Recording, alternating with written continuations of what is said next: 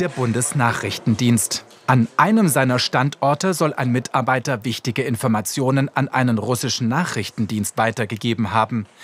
Der Generalbundesanwalt wertet diese Informationen als Staatsgeheimnis. Der Vorwurf Landesverrat. Deutschland ist seit vielen Jahren im Blickfeld russischer Spionage, so Experten.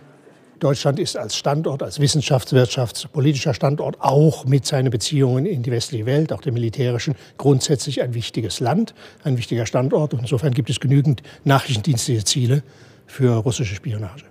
Der Generalbundesanwalt hat zuletzt immer wieder ermittelt.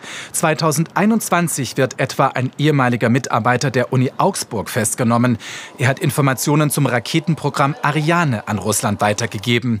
In diesem Jahr verurteilt das Oberlandesgericht Düsseldorf einen ehemaligen Reserveoffizier, der sein Wissen etwa zum Reservistenwesen an Russland verraten hat. Viele Operationen werden offenbar von der russischen Botschaft ausgesteuert, wohl auch der Mord im kleinen Tiergarten in Berlin 2019.